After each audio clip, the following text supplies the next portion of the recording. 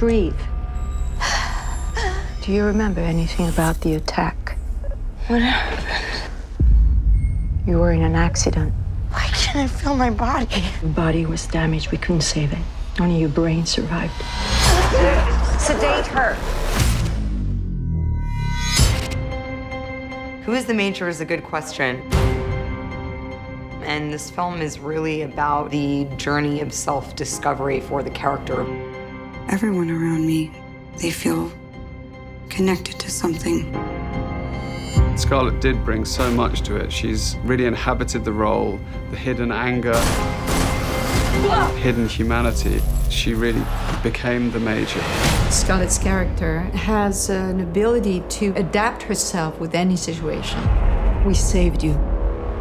And now you save others. This is Major. I'm going in.